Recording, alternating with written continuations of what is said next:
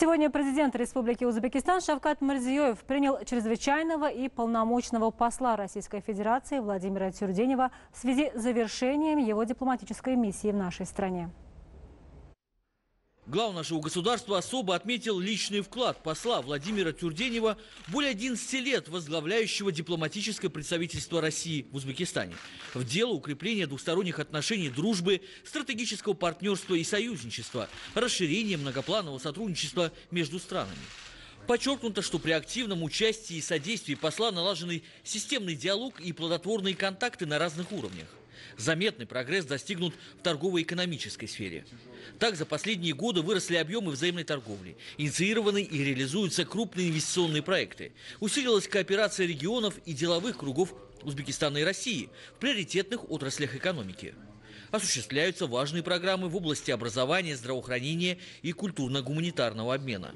Сегодня в нашей стране действует 12 филиалов ведущих вузов России – в завершении встречи президент Узбекистана наградил посла России почетной грамотой Республики Узбекистан за большой вклад в углубление межгосударственных отношений и развитие всесторонних связей, активную роль в укреплении уз дружбы и взаимопонимания между двумя народами. Владимир Тюрденев выразил глубокую признательность лидеру нашей страны за высокую оценку его дипломатической деятельности, а также уделяемое особое внимание продвижению полномасштабного сотрудничества между Узбекистаном и Россией. С 2016 года развитие российско-узбекских отношений пошло практически по всем направлениям. Отношения стратегического э, партнерства и союзничества, которые существовали между нашими э, государствами и ранее, стали наполняться новым конкретным содержанием. Это касается как политического сотрудничества, экономического, военно- и военно-технического и научно-технического сотрудничества. Мы существенно э, увеличили наш товарооборот. Политические контакты, как бы не было сложно в условиях пандемии, продолжаются и продолжаются на самом высшем уровне. За последние годы, э, скажем, одним из э, новых направлений стало межрегиональное сотрудничество. Делегации, причем делегации на уровне губернаторов, то, чего не было было раньше. Образовательный процесс.